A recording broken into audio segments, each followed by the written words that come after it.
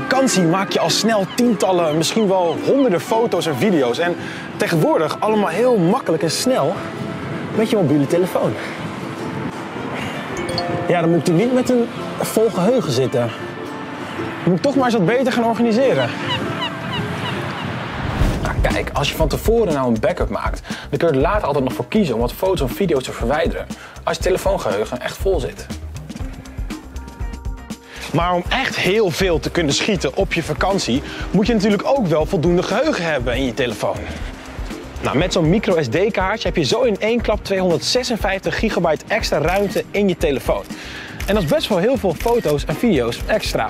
Maar let wel op de maximale grootte die je in je smartphone kan, want soms ligt die wat lager. Nou, dit extra geheugen is met name handig als je ook video's maakt. Want video's die vragen veel meer van je smartphone geheugen.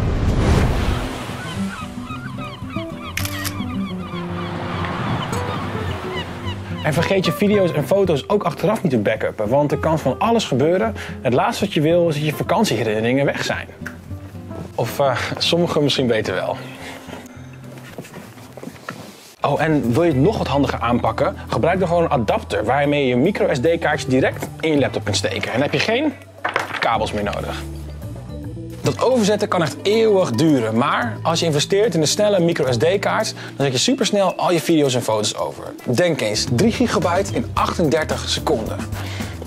En zo heb je toch nog wat meer tijd om lekker te gaan zwemmen.